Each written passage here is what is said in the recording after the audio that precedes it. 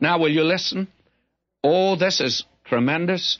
Who also hath made us also able ministers of the New Testament. And I'd like to change that.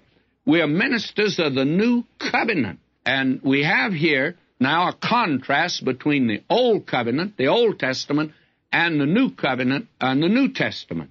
And there's a contrast here in several different ways.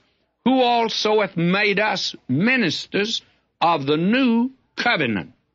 Now he says, not of the letter, but of the Spirit.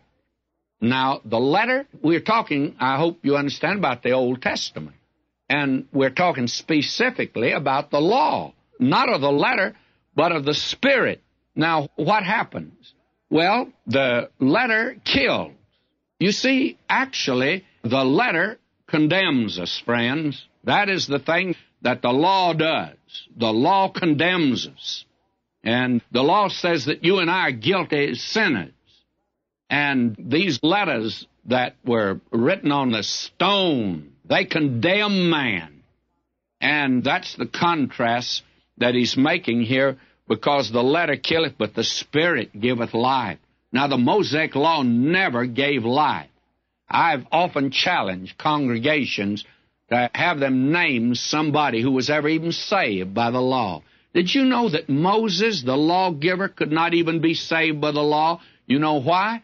He was a murderer. David broke it all, but he's a man after God's own heart. You can't be saved by keeping the law, friends.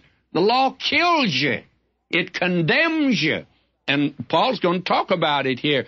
He says, but if the ministration of death, that's the old covenant, that's the law, written and engraven in stones. Now we know what he's talking about. But it was glorious. It's the will of God, but it condemns me. It shows me I'm a sinner.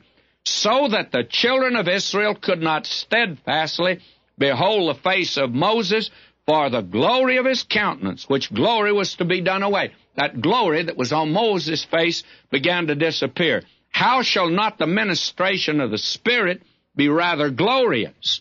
In other words, if the Old Testament was glorious, what about the New? For if the ministration of condemnation be glory, much more the ministration of righteousness, and that's the righteousness we have in Christ, exceed in glory. For even that which was made glorious had no glory in this respect by reason of the glory that excelleth.